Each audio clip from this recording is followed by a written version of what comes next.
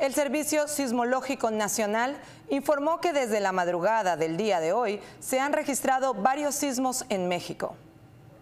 Los registros indican un sismo de magnitud 4.1 en Puerto Escondido, Oaxaca, además de otro movimiento de magnitud 4.0 generado este 20 de abril cerca de Loreto, que sucedió a las 2.49 horario local, mientras que horas más tarde se registró un nuevo sismo con magnitud 4.8, localizado a 30 kilómetros al sureste de Chiapas, registrado el día de hoy a las 8-9 horas con una profundidad de 96 kilómetros. Los proyectos de asistencia militar para Ucrania, Israel y Taiwán siguen siendo tema de discusión en la Cámara de Representantes de Estados Unidos. Al parecer, luego de estar durante meses debatiendo y sin avances en estos momentos, podrían estar a solo unos pasos de obtener la luz verde definitiva. Leemos de Infobae que este viernes la Cámara Baja votó un paso de procedimiento que acabó con una victoria de 316 a 94 en una situación extremadamente inusual. Los integrantes de la Comisión de Reglas unieron sus fuerzas el jueves a última hora y junto con el apoyo de cuatro demócratas lograron superar a los tres de línea dura de la mayoría republicana. Así, la propuesta consiguió superar la primera barrera y continuará su curso para ser debatida en pleno este sábado. El proyecto de ley lleva meses estancado en la Cámara de Representantes, dado que un grupo de legisladores opositores se oponían a seguir enviando dinero y armamento a Ucrania y a su vez buscaban sacar ventajas sobre políticas inmigratorias de Joe Biden que veía con descontento. Sin embargo, el ataque de este sábado de Irán a Israel hizo cambiar la perspectiva de su líder, Mike Johnson, que ahora asegura que el proyecto debe ser aprobado con urgencia, ya que también incluye envíos a Tel Aviv y a Taipei. Y hablando de Estados Unidos, a primera hora de este sábado, el Departamento de Policía de la ciudad de Nueva York informó a The Associated Press que el hombre que se prendió fuego a las puertas del juicio de Trump fue declarado muerto por el personal de un hospital de la zona. El fallecido, que según la policía había viajado recientemente desde Florida a Nueva York, no burló ningún control de seguridad para entrar al parque.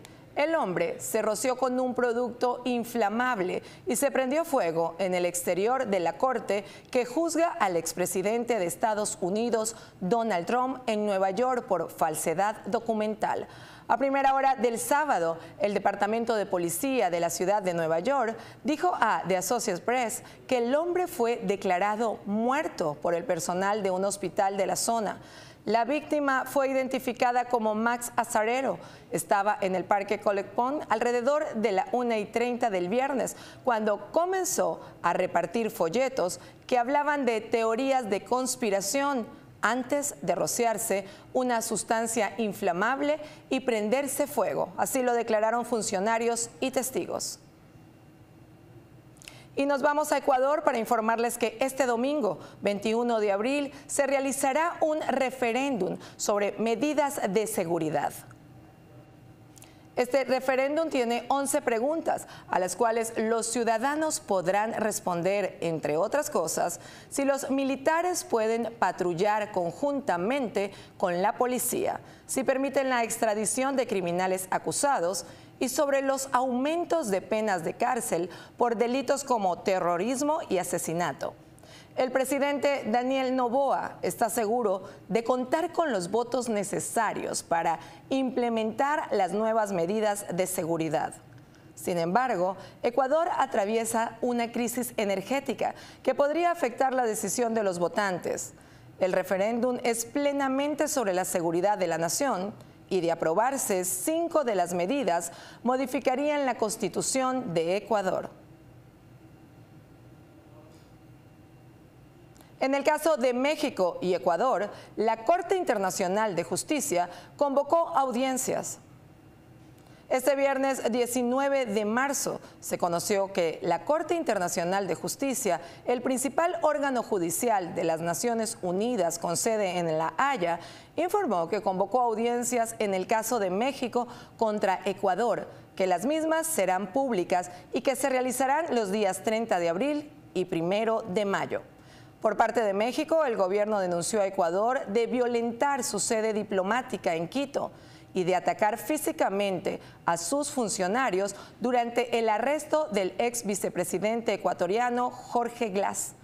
López Obrador consideró ese acto una flagrante transgresión a la inviolabilidad de su embajada y al derecho internacional, por lo que presentó también una carta al secretario general de las Naciones Unidas, Antonio Guterres, para denunciar lo ocurrido mientras que Ecuador defiende su actuación argumentando que no iba a permitir que hubiera impunidad en el caso de Glass.